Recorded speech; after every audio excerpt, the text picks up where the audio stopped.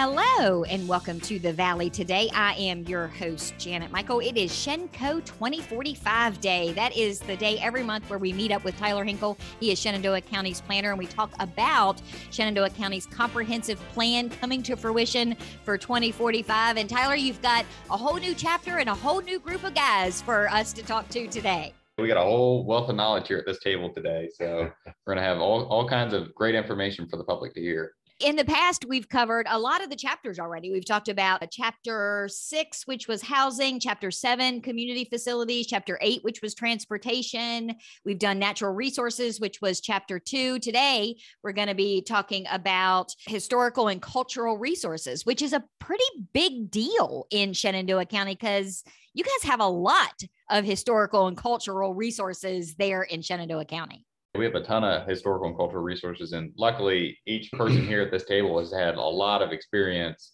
with each of those types of resources. And it might be beneficial. Maybe we could go around and let everybody know some of that background they've had and who, who all we have here at the table. Let's uh, start with Zach Hottel. Zach has done the show with me. People will recognize Zach's voice. Zach is a county historian. He's also the archivist for Shenandoah County Library System. And most recently, Zach was on the show because he's on the planning committee for the big 250th anniversary celebration for Shenandoah County. Zach, you've got a lot of hats that you're wearing at any given time. I have a lot of hats. Tell me a little bit about your background and your history and how that fits into working on this particular chapter for the comprehensive plan. I'm a Shenandoah County native. I grew up here and went away to college to study the history of our country, really. And while I was there, I was hooked by this idea of studying what's called public history, which is the way we take history and then share it with the communities and the people around us. That was really fascinating to me is, is how do we craft those stories and work my way through a graduate program studying that. And then when I finished up in 2015, we just happened to be hiring an archivist here in Shenandoah County and came back to fill that position and been here ever since. I love the opportunity to work with our local history and to take the opportunity to share the really unique stories that we have. And I think that this chapter in the comprehensive plan is a way for us to define really what the comprehensive plan is about in the background and how our history and our resources here have really developed where we're at today in the county, where we're going in the future, and defines who we are as a community. And that's one of the things you and I have had conversations about on previous shows is that history isn't always just something that has happened in the past.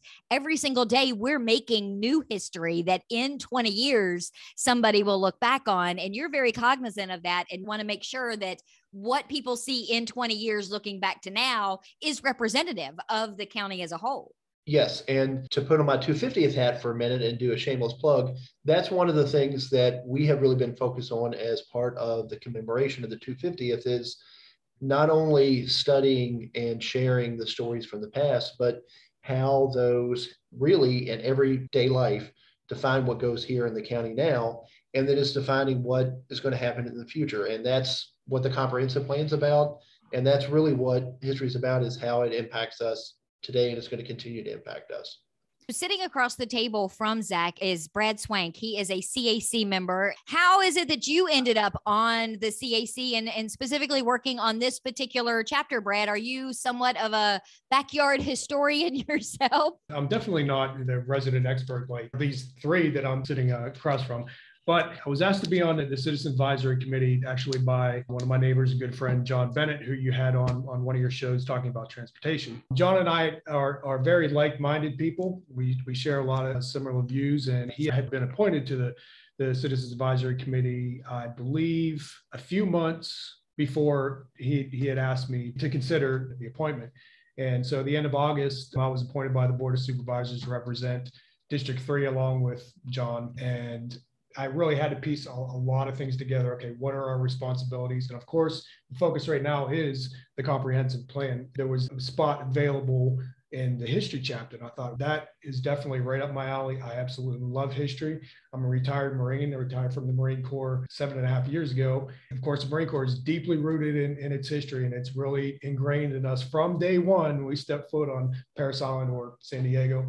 And that I believe is what has preserved the Marine Corps and has allowed them to be so successful as the Marines are known to be. My interest in history has really been a, a, driving force in getting into the, the comprehensive plan and gathering information from the community and coming up with and, and, drafting a plan for 2045. Sitting next to Brad is Bill Wine. He is a local historian. What is your background as far as Shenandoah County's history is concerned? Oh, wow. That's a, how long do you have here? I was going to say, is that a whole other show in and of itself? No, I, I, mean, the interest in history for me started, gosh, back when I was in my adolescent years. We lived in Western Loudoun County along a mountain. And I was walking through the woods and stumbled across an old stone chimney that had looked like it would, had been there since the 1700s. So I started asking the neighbors, the elderly people who I know had lived there a long time, about this chimney. They told me they knew where the chimney was. They remember when the house was standing and the people that lived in the house. So I got this visual description of what life was like when these people were youngsters. And I was just awestruck by their lifestyle, the, the simplicity, the hardships. And then that just spawned onto my interest in how these old buildings were built, how the stone was laid, how it was cut, how the timbers were hewn. So I started collecting the tools and learning the techniques of the construction of that era. That led on into eventually me getting involved in this as a business, restoring older buildings, houses, and whatnot. But in tandem, I was also interested in the local history. I learned a little bit about Loudoun County and the area that I lived in there. We moved to Shenandoah County when I was 17 years of age. So I was able to graduate with students at Central. They took me in like, like I was one of their own. And I began to do that same interview with the older people around Shenandoah County about what was life like when you were growing up. Tell me about this, tell me about that. I just started absorbing all of this information that these people were sharing with me. I was just truly blessed when I think back on the people that I had talked to, how well known they were throughout the community. And they had been here a long time. So I just started compiling all this local history information. And back during the pandemic, when that first started, and I didn't do this because of the pandemic, I was just doing it to gather information. And that was to create some local history Facebook pages that just absolutely had taken off with members. Now it's such a big hit. I, I think people would cry and scream if I took them down. and I'm drafting a, a, historical map to try to compile all the different maps of the area into one particular map and of course, Tyler's doing this on the county level as well. But I want to have this printed to where people can appreciate the local history and the richness of this area with all the various old mills and mill sites and schools and factories and furnaces and cemeteries and, and the like. So they invited me here to give them a little bit of input. I'm not sure what I can add, but I'll do what I can. Tyler, what exactly is involved? Can you and Brad explain to me what is in this particular chapter, how you look at it, and what your goal is moving into 2045? The history chapter is that first chapter in the comprehensive plan. And I think that's partially intentional with the, the county. I think that's how it's always been, but it's to start with where you come from to know where you're going to go there's a lot of intention put into what has led the county to be what it is today and how that's going to influence what it'll be tomorrow. And so, of course, there's a section that describes the history of the county and gives those resources. Just uh, reviewing some of the, the past comprehensive plans, I will say that it's probably going to be difficult in the sense of how rich the history is and how in depth the history is of the county to take all that and boil it down to give an overview to what is important to the county citizens. What's historical events are significant and should be included in this, and what do we need to do in the future, looking ahead, obviously, for the 2045 plan to preserve those historic interests, be it structures, be it the education, be it some of the resources. The, the thing about history is that it touches everything else.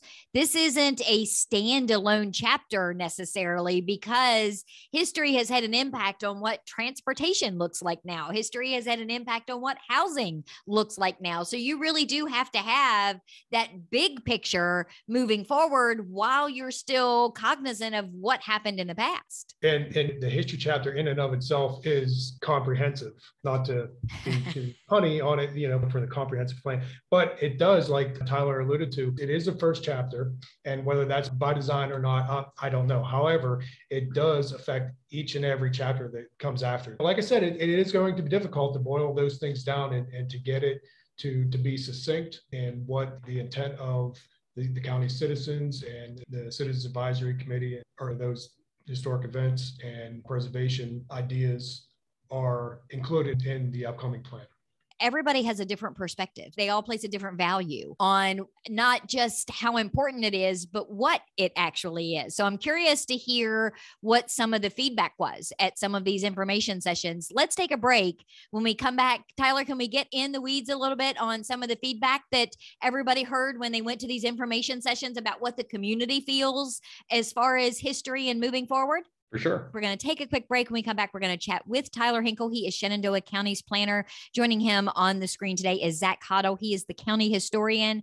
Brad Swank is with us. He's part of the CAC District 3. And Bill Wine is here with us as well. He's a local historian. We're going to talk with all of them more about Chapter 1, Historical and Cultural Resources for Shenandoah County's 2045 Comprehensive Plan in just a couple of minutes.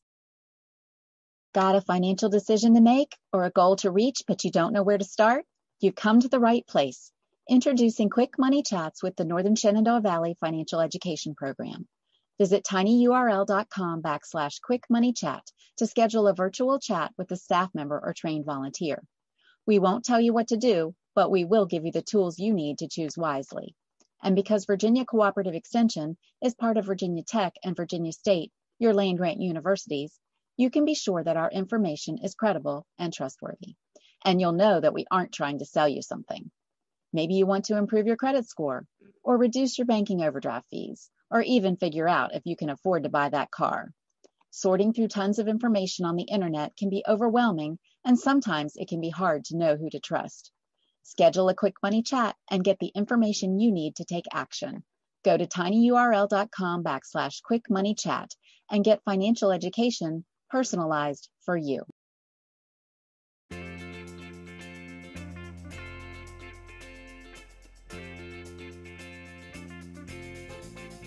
Welcome back to the Valley today. I am your host, Janet Michael. It's all about the history today, the history of Shenandoah County, which ironically we're talking about as we're looking forward to Shenandoah County 2045. We're talking about the comprehensive plan. Tyler Hinkle is here on the screen with us. He is Shenandoah County's planner.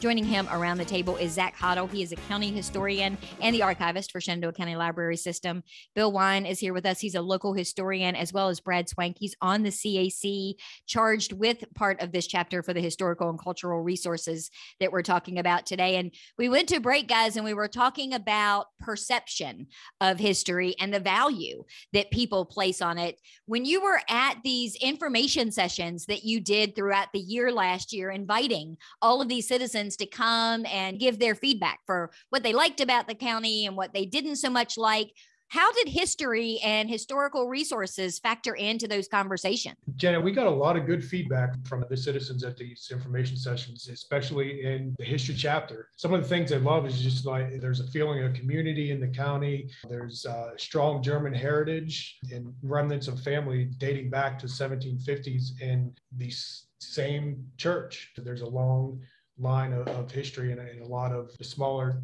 communities outside of what we think of Shenandoah County and, and the, the larger ones, meaning Woodstock, New Market, Strasburg, Edinburg. And people love, of course, the mountains that are contained within the county and, and the history behind them and how just generally beautiful the Shenandoah County is. They love that, that the life is simple, it's old fashioned and, and generally peaceful. And they really like that not a lot has changed in, the county, unlike some of the urban sprawl that we see from uh, some of the other areas. They don't want the county to be a Northern Virginia. And it's going to be difficult for us as we're writing the chapter. The comprehensive plan is not writing legislation, but how do we write it in a way so that we can influence the decisions that are made by the, the, board of supervisors and how do we word it so that the interests of the citizens are, are reflected in, in the comprehensive plan? That's a unique position to be in where you have to craft this comprehensive plan as a guideline that you hope they will use as a go by when any kind of legislation needs to happen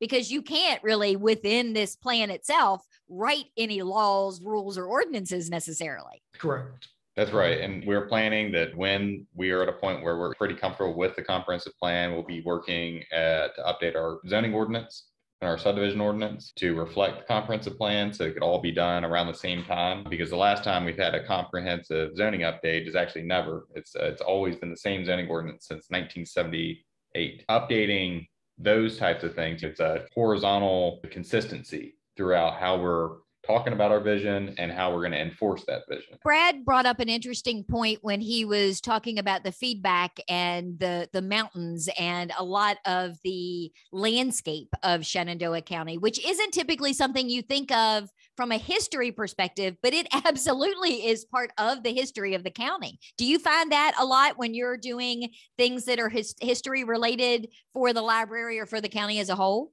The landscape is definitely part of the history of the community because it defines where communities are, it defines where structures go. I mean, it defines how we use things, what our industry and what our farming is like. People don't necessarily think of that. They think of a historic house, they never think of the connections and things a lot of times.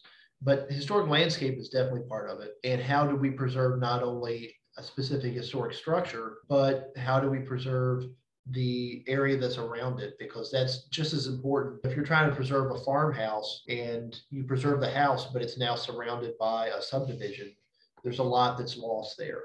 So it's how do we balance preservation of not only the structure, but also the land, the way this land's used. Is it clear cut versus timber historically? All of those things have to go into an understanding of historic preservation. Bill, I would imagine that's a big piece of what you do is helping these families and these people that want to preserve maybe the structure, but having them have that greater understanding of what's surrounding it as well so that it can stay in its own form. Absolutely. As Zach said, the surrounding landscape was just as important as the farmhouse and the barn and the dependencies around that place because it was all working together to allow these people to, to thrive historically speaking, for instance, if you took away the land, then you took away a major historic component of that property because not only did you lose the view shed, you lose the the whole reason the place was there to begin with. Yeah, the whole context is suddenly not there anymore.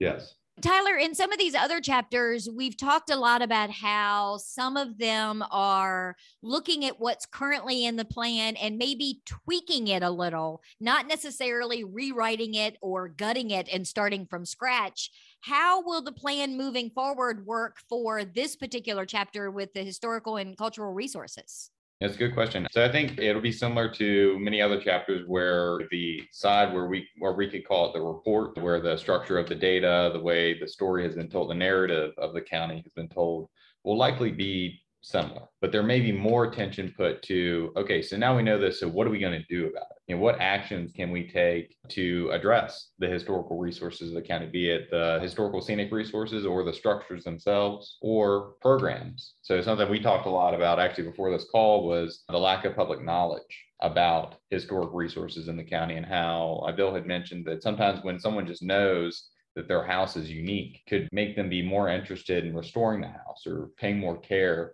to the structure they have once they know how important it actually is. So I think a lot of attention is going to be placed on okay, we know this is important. So how are we going to make sure that resource is kept or that it's acknowledged?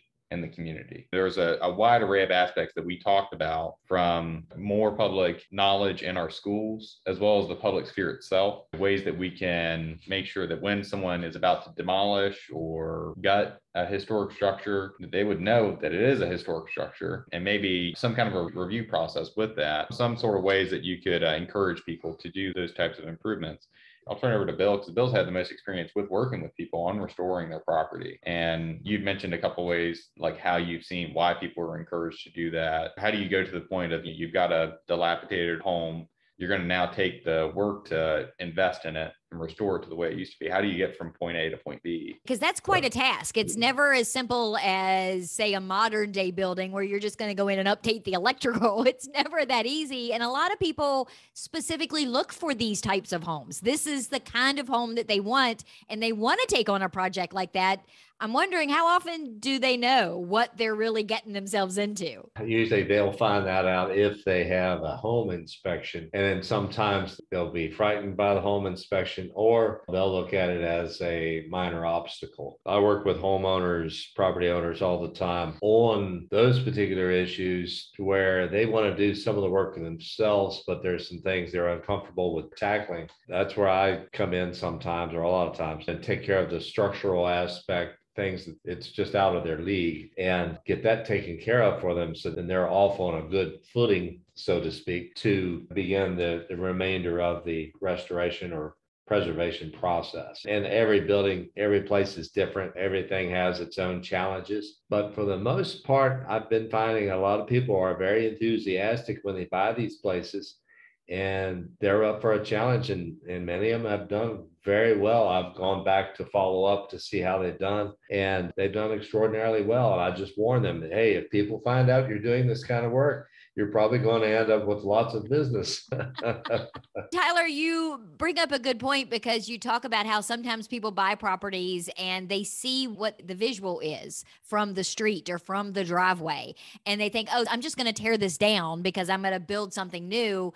And then somewhere along the line, they find out that it is some really great piece of Shenandoah County history it would be great on the front end for people to know that going in so that they don't already maybe tear something down and then realize what it was and now it's gone. What are you going to do? So i think that's some of the things too that i would guess the comprehensive plan might try to address when it comes to public knowledge. I think that you know a lot of the history right now in the county is focused on external events and how those external events have influenced the history of the county but not exactly internal events or internal individuals who are integral to like why certain things are named. Why is Rude's Hill named Rude's Hill? There, there may not be any knowledge about that. So I'll defer to Zach. Just to build on that, the sense of history in our community has to be about the people and the places in our community. It only makes sense. It's local history at its finest. And if we understand it better through that lens, then we understand better how it impacts us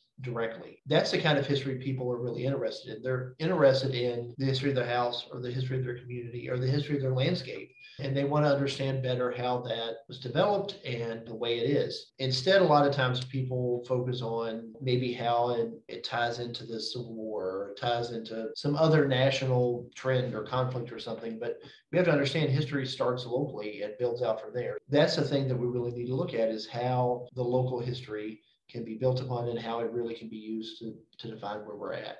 And right. you're right, because a lot of times we hear a name and we think we don't know where that name came from. And then we realize, oh, wait, I went to school with somebody whose grandfather was that guy. And then suddenly it's important to me and I'm interested in it. So having that individual connection with people to their community, not necessarily a general that was here however many years ago during the Civil War, is really important for future interest in history. I'm in a lucky place where I get to hear those stories all the time. And I'll tell you that they're very rewarding to understand or to see when people make connections with their local community. And it's not only focusing locally, but it's focusing on history that's can sometimes be more relevant. It's not only what happened here 250 years ago, is what happened here 50 years ago or 25 years ago. That's all part of our collective historic narrative, and it's all important to who we are.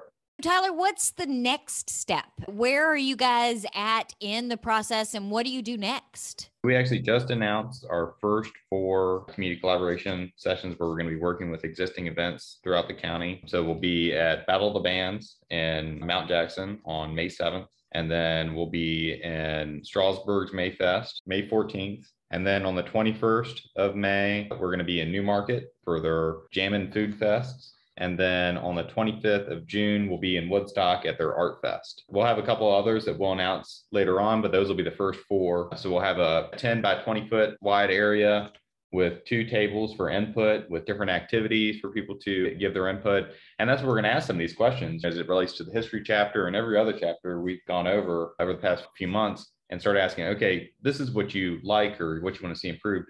What's that going to look like? Where's that actually going to occur? How are we going to put this in place so that when we come to you all next year with a draft of the plan, we're, actually quoting the words of the public and how we're going to make this thing happen. And we're going to have a mock meeting on the 30th of March as well. So I invite Bill and Zach in case anybody wants to come as well. And we'll do another mock meeting in April as we work out the kinks on, on this. To give a little bit of visual, last fall, the community information sessions kind of ankle deep into the plan and, and its process. And this next step that we're going, I'd say we're getting knee deep into it. By the end, will be fully submerged. So the next step, I think, for Seth and I, as this whole process develops, is to at these next sessions to, to ask those specific questions, like Tyler alluded to, and ask what about the history of the county? What do you think are the important events that should be included, and what recent events that have happened since the last plan do you think should be included into this plan? And how can we tie this in to make sure that those events are preserved, not lost for various reasons, like we talked about today? And that's an important point because we've spent a lot of time talking about the history in terms of many years ago. But you guys have to look at the history right now and in the last 10 or 20 years because you're right. You have to make sure this plan in 2045 addresses maybe something happened in 2018 and something was demolished or a road was put somewhere, something happened that people suddenly thought, wait, we should have done a better job of. So those are things that you have to look at in recent history to make sure that you're not repeating them in future history.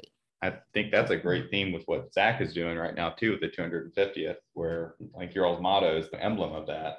Yeah, honoring the past, inspiring the future that's our goal there. And Tyler, we talked about this, I think, in the last show. I think these community collaboration meetups are fantastic that you're now coming out to the people. I think that's going to make it a whole lot easier when you're going to these events where people are going to be anyway. I think you're probably going to find, at least in my opinion, from a marketing perspective, people are a lot more open and a lot more willing to share their opinions and their thoughts and that sort of thing when they're at something like those events, because that's the nature of why they're there to enjoy their community and support their community. So I think you're going to see a whole lot more input than possibly what you've seen in the past. We certainly hope so. I think you're absolutely right. I think a lot of people are very go with the flow. If it, if it works for their schedule, they're going to do it. But they're not going to be proactive and say, I'm worried that 20 years from now, the county might want to put a target beside me, or that they're not going to put a historical trail here through this battlefield land. Most people aren't going to do that. They're going to be concerned when the proposal comes to them and they start digging out the ground to to build or construct whatever's going on. So we're hoping that if we can go to where people are, we can be a little bit more proactive uh, and address some of these issues and the, the, historical resources in the county so that we can at least preserve some of them. I, think we talked about this last month too when I went on my little mini rant about putting a Sheetz up next to your house.